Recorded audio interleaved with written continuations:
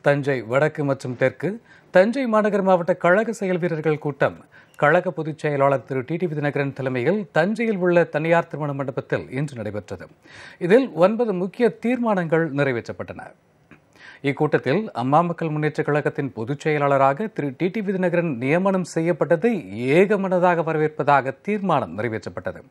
இதேபோல கழக துணை பொதுச் செயலாளராக தஞ்சை முன்னாள் சட்டமன்ற உறுப்பினர் திரு எம். ரங்கசாமியை நியமனம் செய்த தியாகத் தலைவி சின்னம்மாவிற்கும் கழக பொதுச் செயலாளர் திரு டிடி விதிநகரனுக்கும் நன்றி தெரிவித்து தீர்மானம் நிறைவேற்றப்பட்டது.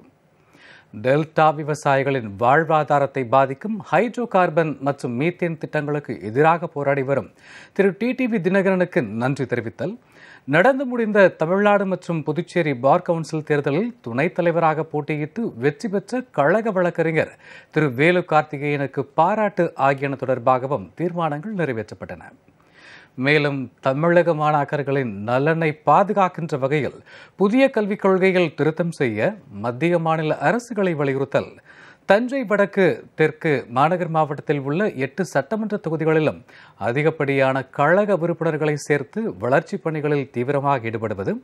கழக வளர்ச்சிக்காக அல்லும் பகலும் அயராது பாடுபட்டு வரும். கழக பொதுச் செயலாளருக்கு பாராட்டு.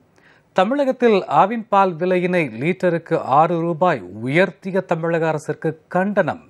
மற்றும் விவசாயிகளின் கடன்களை உடனடியாக ரத்து செய்யவும் அனைத்து ஆறு குளம் ஏரி வாய்க்கால்களை உடனடியாக தூர்வாரவும் அரசை வலியுறுத்தி இந்த கூட்டத்தில் தீர்மானங்கள் நிறைவேற்றப்பட்டன.